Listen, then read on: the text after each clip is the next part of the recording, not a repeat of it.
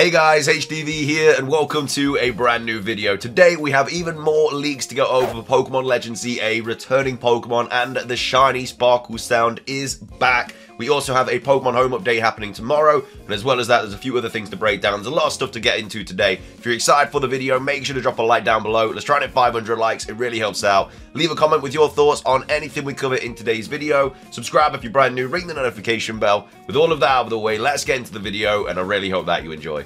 So, starting things off, just a quick update regarding Pokemon Home. We are getting a maintenance update tomorrow. We have Serebii here tweeting out saying, Serebii update, Pokemon Home is to be under maintenance from midnight to 10 a.m. UTC tomorrow on October the 16th. Uh, the mobile version will then be updated to version 3.2.2 following uh, that maintenance. Again, I think it's just your normal scheduled maintenance update. I don't think it's going to be anything crazy. Um, obviously, there are the there are the slight chances that we do get data mines and stuff whenever there's a Pokemon Home update, but I, I highly doubt anything's going to happen in regarding uh, in regards to this tomorrow. If we're going to get any official Pokemon news, then it will come from Pokemon themselves. If we get any leaked information, it will come from the leaker who literally has the game right now. So that's the Pokemon Home update that I quickly wanted to go over. We'll, we'll keep an eye out for it. Obviously, if anything happens tomorrow, I'll let you guys know. But either way, that's the Pokemon Home maintenance update. Just that it will be down for like 10 hours tomorrow. So if you are in the middle of doing anything for Pokemon Home, you will not be able to access it uh, tomorrow between those hours. So that's the first thing that I wanted to go over. Next up, let's take a look at the latest Pokemon Legends ZA leaks. And apparently these are going to be the last ones we get. Uh, that is what this leaker has said. Before today, they did say they weren't going to leak anything about the game. They've now come out and said this. So is it one of those things where it's they're just going to keep giving us like crumbs of information like every day? Or is he actually just going to be like, no, that's it. No more leaks about the game now. And uh, this is all we're going to have to go off. Because if this is all we get, that's fine because this is some pretty good information especially for shiny hunters today uh, so obviously i'm very very happy about it and i know a lot of people will and it also doesn't ruin anything about the game. So that's always really, really good. So uh, we have got Centro Leaks here tweeting out saying Pokemon Legends ZA Leaks Part 2. So the returning Pokemon that we know about is that Stunfisk is going to be in the game. Now, a lot of people will be like, well, why have they picked Stunfisk out of all the different Pokemon to tell us that it's returning in the game? And that's because they found a full odds shiny Stunfisk, which why which is why they now know that the shiny sound from Pokemon Legends Arceus is back. So that's confirmed. The leaker has the game right now. They've played all the way through it. Uh, they found that full odds shiny Stunfisk. We don't know about shiny uh, methods and stuff, whether outbreaks return and everything like that. They were just somewhere where Pokemon spawn and they heard the diddling, and then obviously they saw the shiny Stunfisk. So Stunfisk is a returning Pokemon, and the shiny sound is back. Now I don't know if that means that Galarian Stunfisk is also going to return. Usually when a Pokemon is in the game, their alternate form is as well, whether it's a Galarian form or an Alolan form, an Alolan form, whatever. But obviously in Pokemon Legends Arceus, we had regular Kantonian Ponyta, but then Galarian Ponyta wasn't in the game. So it doesn't guarantee that the form of a Pokemon is also going to be in the game, but we'll have to wait and see. But Stunfisk itself, unless they're talking about Galarian Stunfisk, I don't think so. I think they just mean regular Stunfisk. It is confirmed to be in the game, and the shiny sound is back. So that's that's obviously huge news. We were all a little bit worried that they weren't going to include that. I was always hopeful because I was, I was just kind of hoping that they're going to keep the same formula for Pokemon Legends Arceus into Pokemon Legends ZA, and it looks like they are doing that to an extent. Now, obviously, this leaker has played through everything, so they know whether all these different features are going to be in the game or not, but it just doesn't look like they're going to leak anything else. So uh, it also says the leaker says the game was very enjoyable even with the lag. So that's obviously a positive. The game's very enjoyable. Again, that's just one person's opinion. This is probably the only person in the world that isn't working on the game that's played through it. And their opinion is that, yeah, they, it was a very enjoyable game. They had a great time, but it does have lag. Now, that it, that could be because it's just an early build. Like they are basically playing like a a, a later stage beta because they did come out and say that the game was kind of like done. The translations were basically done. Uh, there was just like 50% of the side quests weren't working and stuff like that. So it, it could be laggy because it is just a beta, or it could be laggy because it's the same situation as Pokemon Scarlet and Violet, where in some areas it was just very, very laggy, and that's just because the Switch is not powerful enough to be able to kind of cope with the game. Uh, I'm hoping it's the first one that's just because it's a beta, but it could potentially have lag. So it's a little bit worrying. We'll have to wait and see, but I'm hoping it's just because it's the beta. And then also, uh, Centro goes on to say the leaker is not planning to release any more details about the game. So again, they said that a couple of days ago. That was a lie because they've now released this. But I think that's just, this is just kind of like overall information that it doesn't ruin anything, really. It just, it's just something to get excited about. You know, this isn't going to affect whether you buy the game or not, whether the shiny sound is back. Well, at least it probably shouldn't. But it's not like they've leaked the final boss or the starters or mega evolutions or anything like that. It's just a very minute gameplay feature, but it's also a really good thing to know about. So I'm happy that they've told us this because we don't have to work, because otherwise we wouldn't have found this out until the game came out. You know, this is one of those kind of late stage data mines that you won't find out until, like, say, you play the game. So very happy about that. And then Stunfisk, I don't know how many people love Stunfisk in this world, but if you do, he's in the game as well. So anyway, that is all of that. Uh, moving on, we do also have this quick update to go over as well. We've got Jan here saying, just saying, Stunfisk is found in Kalos Route 14 and 19. So Kalos Route 14 is the route directly north of Lumiose City, so it does make sense to show up in Pokemon Legends ZA. So I don't know if like the routes surrounding Legends, uh, uh, surrounding Lumiose City are gonna be uh, like accessible. And again, we know that the game takes place in Lumiose City, but the surrounding areas could also be known as Lumiose City. So maybe you can go north, east, south, west, and the routes that were in Pokemon X and Y are going to be the routes in Pokemon Legends ZA. Well, not even like routes, but like areas, and that's where you can go and catch these Pokemon. And that's why Stunfisk appears there, because it does appear just north of Lumiose in Pokemon X and Y. So maybe if that's true, we could kind of guesstimate the Pokemon that are going to be in this game. We just have to take a look at what appears in the immediate kind of vicinity of Lumiose, because there's obviously quite a few Pokemon that do, so maybe all of those will be in the game.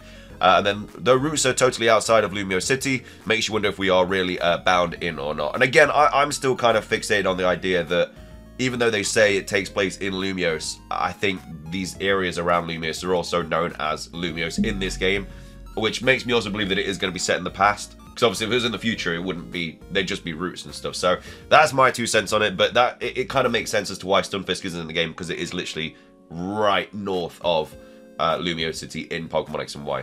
Uh, so that's that. Moving on, I do want to quickly go over this as well. Uh, a couple of things just from Pori Leaks here saying update on Pokemon Legends ZA. Uh, so there is a current working build for a PC version that was obtained in the uh, the Game Freak leak. It is playable, which is obviously why this uh, this person is able to play all the way through the game and give us this kind of information. Clarification, only the leaker has it. It's not public and they do not intend to share it. The playable version is on real hardware. There is a PC build, but it needs certain hardware for it to work. Uh, they then go on to say, uh, not aiming to spread misinformation. This is never the intention or goal. So, yeah, I mean, we know the leaker's got it. They've already leaked so much stuff in this whole situation. So, um, yeah, that's just just food for thought that they are telling the truth. That's why we know that like this stuff is also very very true because they literally are playing the game. If they wanted to, they could just upload like a ton of screenshots. Like I I, I don't know why they haven't. I don't want them to, but I'm also like just I've got no idea why their morals are suddenly changing after leaking the personal information about all these employees. But it is what it is. That's the situation. I I don't know. I think we're going to get some more snippets because he's already said that they're not going to release anything else, but then they did. So I, I, think we'll get like a couple more gameplay snippets, maybe a couple more returning Pokemon here or there. Don't really know, uh, but that's just kind of my two cents on that. Uh, so that's that, uh, and then also there's, there's this going around as well, which I quickly wanted to just kind of uh, talk about. Uh, we've got Andy Pokefine here saying many people already have this and are playing it right now. I won't be surprised if it leaks in a few days. This is not true. Uh, a lot of people are saying that this build is out there. The leaker is the only person with this game. Nobody else has it. They've not uploaded it. It doesn't look like they're going to. So if people are out there saying they've got the game and they're playing it right now, they, they are lying. Again, a lot of images, screenshots and stuff are going to be coming out, but that is mostly all going to be fake. If it's not coming from the leaker, it, it is very much likely fake. People will be out there saying, I've got the game, this is like the starters, this is the screenshot.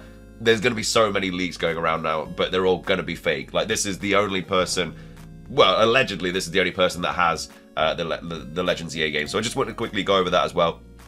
So that's that. Uh, moving on, we do also have some events to go over as well. Pokemon Go has announced Gigantamax.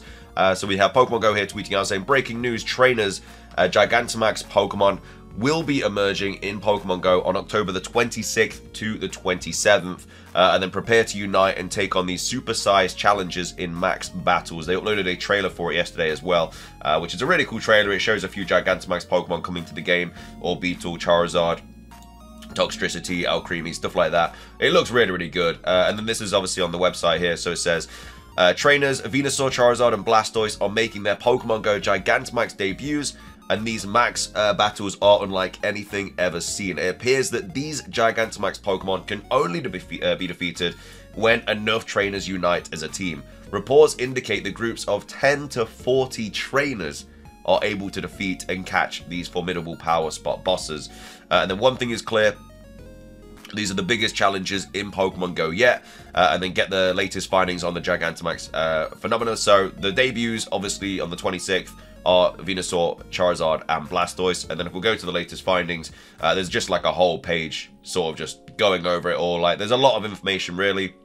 This is the uh, the main kind of point here, though. Gigantamaxing is a kind of Dynamaxing that certain Pokemon couldn't undergo.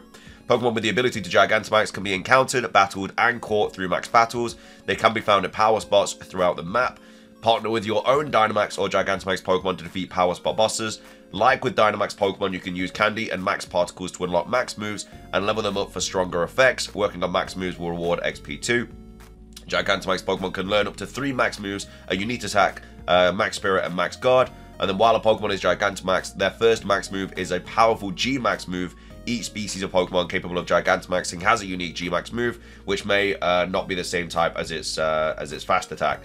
Uh, and then more information as well. Like I say, this is all on the website if you want to take a look at this. This is a big feature though, obviously. Like we've just had Dynamax and now Gigantamax is, is back as well. Uh, it says any trainer with at least one Dynamax or Gigantamax Pokemon in their battle party can take on max battles. Up to 40 trainers split into groups of four or fewer can band together to increase their chance of success. Each trainer must use max particles to engage in the battle. The most, the more powerful the power spot uh, boss, the more max particles needed. Uh, but don't worry, max particles are only used that once you successfully take down the boss, so keep pushing towards victory. In a max battle, you just tap the screen to use fast attacks, yada yada yada. Keep an eye on the meter, swipe to dodge the power spot boss attacks, and then if you spot um, energy icons on the battlefield, swipe to move your Pokemon to collect them and fill up your meter even faster. If all of your Pokemon faint when battling, can still help. You can tap the screen until you can cheer for your teammates, uh, well, which will then fill their meters as well. So it looks like it's going to be a really cool feature. I'm really looking forward to it. Uh, it's not, again, too far away only. It's like 11, 10, 11 days until it comes out. So yeah, and these are the three that are obviously, and they can be shiny as well, which is also really cool. But these are the three that are debuting, and I'm sure they'll just start releasing more and more as the kind of uh, weeks go on and, and stuff like that. But uh, that's all the kind of Gigantamax stuff for Pokemon Go. And then finishing things off for today's video, uh, we've got GoNintendo tweet here tweeting out saying Pokemon streaming channel coming to Pluto TV this month. Uh, so this is obviously very, very good because obviously they took down Pokemon TV or like the big kind of streaming thing, but now they're doing this, which is even better because it like has all the seasons in one place. We did go over this earlier on in the year, but it's obviously very, very close to uh, happening now. So this summer we got word of a new Pokemon Fast streaming channel which would allow viewers to watch through the bulk of the animated series for free. Uh, a fast streaming thing is just like it's got everything, but it's also just got like ads, so it's free with ads basically. Uh, at the time, we didn't have a clear idea of how or when we'd be able to access the channel. Now it seems that it'll be coming to Pluto TV later this month. So Pluto TV is one of the biggest ad-supported streaming services with a wide variety of channels featuring different kinds of programming. Uh, recently, they've been running promos advertising the Pokemon channel as coming soon, Though we still don't know exactly what day it's launching, it's been confirmed for an October 2024 window. So this month, you are going to be able to watch all the anime series in one place. Well, it's debuting in the US and then it's coming to other countries afterwards. But the channel will provide access to the first 22 seasons of the Pokemon series. So that's so that's just so good because it's just all in one place. You have to worry about going here for season one and two, and then here for season three and four, and then here for season five and six. All 22 seasons are gonna be on this uh, on this kind of fast streaming service. So that's really, really good. And after its US debut, it should be coming to Canada, the UK, Australia, and New Zealand as well. And then stay tuned and get ready to watch. So I'm sure it'll come to more places as well after that. I'm sure it'll come to like all of Europe and and, and everything. But uh, yeah, very very happy for that because it's just very it's just it's just nice having them all in one place. But either way, that's the streaming stuff. That's the Gigantamax stuff, uh, and then also that's all of the Legend ZA stuff as well. Let me know your thoughts on everything we covered in today's video though. What are your thoughts on the Shiny Sparkle Sound returning, Stunfisk being in the game, and then also the potential that this game is going to have lag. A little bit worried about that, but I'm hoping it's just because it's a beta build. Uh, and then also Pokemon Home Maintenance. If anything kind of drops tomorrow in regards to this, we'll obviously cover it. But that's going to be everything from me. If you enjoyed, drop a like. Let's try it at 500. Leave a comment. Subscribe if you're brand new. Ring the notification bell for daily Pokemon content. Have a great rest of your day, and until next time, Peace.